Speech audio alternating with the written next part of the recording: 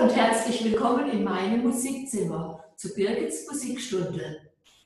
Heute spielen wir eine Musette nach einer Melodie von Johann Sebastian Bach.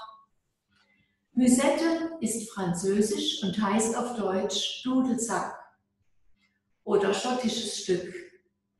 Wenn wir an Schottisch denken, denken wir immer an Dudelsack. Ein Dudelsack hat immer einen gleichbleibenden Bass. Und so ist es auch in dieser Musette.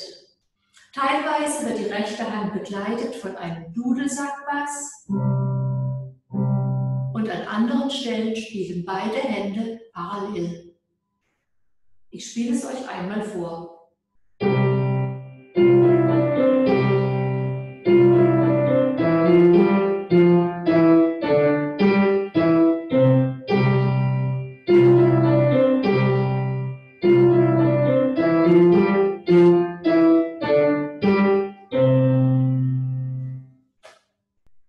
Nun geht's los an die Tasten.